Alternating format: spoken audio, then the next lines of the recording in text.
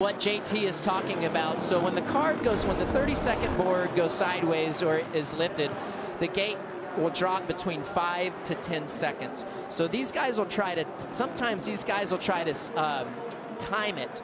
When the card goes sideways, they'll count.